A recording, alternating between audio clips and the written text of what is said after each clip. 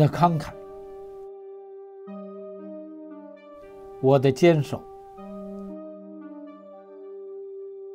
让涛声依旧，时时伴随着您。大家好，欢迎大家来到石涛聚焦。川普在昨天，应该是在威斯康星的一个演讲当中、集会当中，呃，直接挑战了习近平啊。实际是这样，他的他的故事。他的他的内容故事谈到了川普的经济政策、货币政策。呃，川普坚决作为一个保护主义者，就是美国利益为先的，那保持美元的强劲，跟他的作为一个美全球交易当中的基础货币、一个基准货币、衡量货币，呃，那他必须要保持强硬的美元的稳定。那美元现在呢，就是他他他被他被这个这届美国政府搞的呢，就是乱发钱之后，就搞得颠三倒四了啊！真的是完全颠三倒四。呃，那在这种颠三倒四的情况下，川普就明确表示，在外交在这个外贸货币当中，那进行外贸货币非美元交易的国家，就是你结算不用美元进行交易的话。那你的所有进口美国的产品将可以百分之百的关税，所以他再次同样是利用了美国的消费市场。那美国三亿多人的消费市场成为全球最大的消消费市场。那无论印度有多少人，中国有多少人，那他就是以这样的霸主身份出现。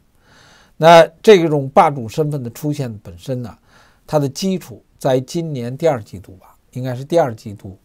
啊，全球交易当中呢，美元依然占主导地位，占有百分之二十九。第二位呢是欧元，占有百分之二十。那但是呢，在这这条新闻为什么冲击力是冲着习近平说的？它原因就是是习近平跟普京主导了非美元的这个这个货币体系，对吧？在金砖国的背景之下，抗衡美国。那抗衡美国的很大的基础是跟俄罗斯遭到制裁有关，在俄罗斯遭到制裁的背景之下，那俄罗斯凭借它自身的能源大国啊，甭管石油、粮食、天然气，在这样的一个就是基础啊，就是人民需的基础消费的资源的背景之下，它国土太大，对不对？那这个这个东西它用不完的，在这样的一个背景之下。那他遭到了禁止使用美元，对不对？不许使用美元，遭遭到了制裁，他就转为软化罗币，呃，这个卢布跟这个呃黄金，以这样的方式，在这样的一个寻求 survive、寻求生机的过程中，那跟中共国呢，中共国认为是机会，所以就可以低价的、大量的把俄罗斯作为。中共国进口包括粮食进口的一个基础，一个靠山。那中共呢？呃，习近平一直想对立美元、独立美元。那原因就是，同样他看到对俄罗斯的制裁，如果放在中国身上，他受不了。所以，与其让你制裁我，让我打打打打一个措手不及，那不如我先跟俄罗斯联手。所以，金砖五国的基础上。所形成的这种货币，这个基础，那巴西在巴西在这个所谓的这个民选当中，一个社会主义者上来，巴西，所以就它的国家性质也就变成导向。那南非呢，就是哈现在变成了一个穷国，呃，只剩一个印度在其中呢发出了不同的声音，而他们的国，而这个基这这而这个这个就这个组织的相应的。成员在大批的笼络着发展中国家，也就是透过中共国的一带一路。那中共国的一带一路是输出产产能，所以很自然而然的，人民币就成为了与美元去对抗的，啊，欧元之外与美元去对抗的，充满敌意的一个货币。那所以我们才说，普川普的这番话就是冲着中国去的，啊，冲着中国。那它一个更大的基础，是因为在今年十二月份，呃，这个拜登呢已经颁布了一个政策，货币政策，就是在谁敢用美元偷偷的再跟美美元跟这个俄罗斯做交易，那所有银行将遭到制裁，美国的制裁。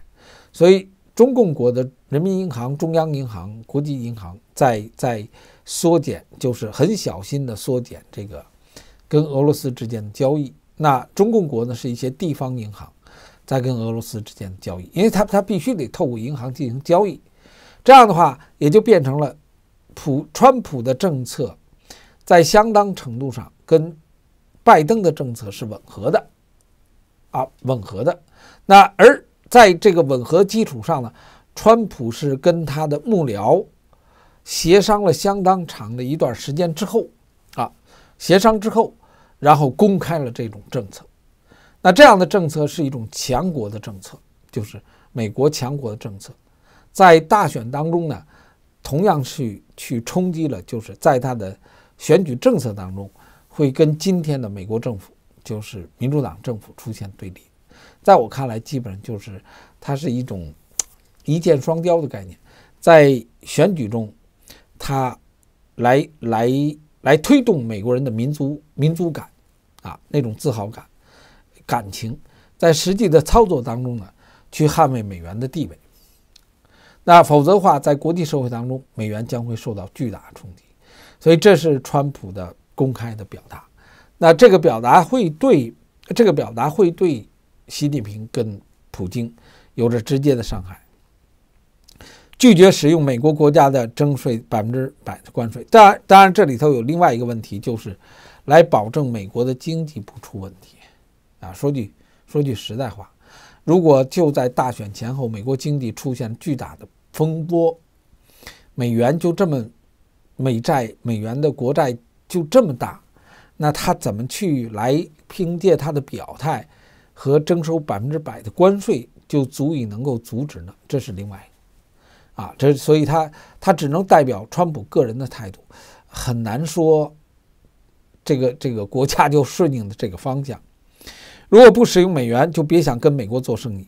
我们将跟你对你的产品征收百分之百的关税，这代表了川普的关税政策。那如果产品征收百分之百的关税，直接受影响的是中国。它是否能够实现，可是另外一回事。因为中共国对美国的就是人民需产品、日常生活的产品影响太大。你都征收百分之百的关税的话，我。呃，这个这个影响是非常大的。呃，中共国、印度、巴西、俄罗斯、南非去美元化，啊，川普表态呢是长期支持保护贸保护主义的贸易政策，所以在威斯康星州直接就表示呢，美元在过去时间里遭受了攻击，作为继续作为世界储蓄货币货币，如果不使用美元，别想跟美国做生意，那征收你百分之百的关税。所以这是这是他的，因为这个政策货币政策是非常厉害的，那同样影响到美国人他的日常生活，因为他捍卫美元地位的时候，那美元在美国的很民需产品大批仰仗进口的背景之下，能够保证民需产品的价格稳定，那否则的话，美国人就没得生活了。现在。呃，川普声明是跟经济顾问讨论数月之后，呃，包括如何惩罚那些双边贸易中使用非美元化的货币的盟友跟对手，啊，包括出口转制、货币操控和关税。所以，对人民币的货币有关操控、货币操控的指控，至今呢没有敢，其实没有太敢兑现啊。那川那美元依然具有储蓄货币的一种。霸主地位百分之九十百分之五十九，那曾经美元的霸主地位大概百分之七十五是七十八，所以其实呢已经衰败的很厉害了。感谢朋友们的支持。